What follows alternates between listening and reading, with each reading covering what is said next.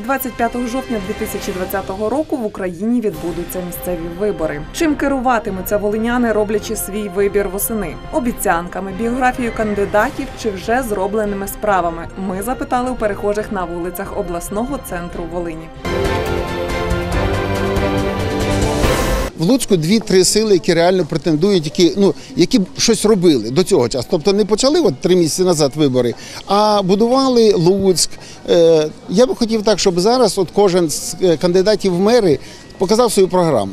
От навіть, скажімо, е, візьмемо там е, свідомих, чи візьмемо там партію за майбутнє, чи візьмемо партію зелених. Покажіть, що ви хочете зробити в Луцьку. А мер будете ви, чи я, чи будь-хто інший, і він має про цю програму виконати. Тобто мене не цікавить ім'я. Хто буде? Буде Микола, Василь чи, чи хтось інший, але в нас є програма. Ми маємо цю виконати програму за 5 років, і ще є в нас програма на 20 років. А передній час, коли ми були владі, чи без влади, що ми робили?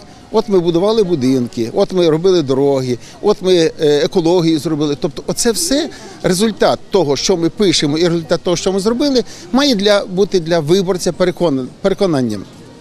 Бо коли дивимося плакати і бачимо красиве обличчя, і один з них злодій, один з них там е, ще зло якесь зробив. Тобто покажи, що ти зробив за своїх 40 чи 50 років е, для країни, ну і для себе. Тобто ніхто не каже, що ти маєш жити в палаці, але е, твій будинок і, і твоя околиця.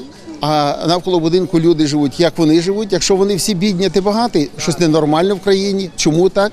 Тобто вони ж не лінтії, не лінтії, вони теж хочуть робити. А де твої робочі місця, якщо ти добре, хтось зробив 20 робочих місць, хтось 200, хтось 2000, але зробив. Оце все. Ну я би хотів, щоб кожен з нас, хто буде голосувати, голосував за того, хто щось зробив вже на даний час, коли хотів стати е, депутатом, мером. Я думаю, що політична сила слуги народу можуть програти ці місцеві вибори, тому що якщо був якийсь успіх в чомусь, то не було питань. Обіцянки не виконуються. Якщо будуть виконуватися обіцянки, то було б дуже добре. І не було б ніяких проблем у населення е, не тільки в Волині, а й України в цілому. Дивлячись на те, що робиться в Луцькій міській раді, я щось не, навіть не можу уявити, за кого я буду голосувати. Це, ну не знаю, це таке зборище людей не, дуже професійних і не, дуже політично грамотних. Керуватись здравим смислом, як завжди. Ну, якщо буде вибір, ну, Приналежністю, по-перше, до політичної сили, яку будуть представляти кандидати. Тут відповідь дуже коротка, розуму. Знаєте, я, е, я вже ну, насправді вже дуже довгий період спостерігаю за багатьма політичними партіями і людьми, які в принципі представляють їх. Е, І маю уявлення, що таке робота взагалі е, депутата і що таке робота органів місцевого самоврядування. Це ну, трішки інколи не те, про що говорять люди. І якби була зацікавленість почитати, тобто у людей, е, що саме, які функції депутата, то тоді вони, напевно, би трішки переоцінили б взагалі роботу депутатів.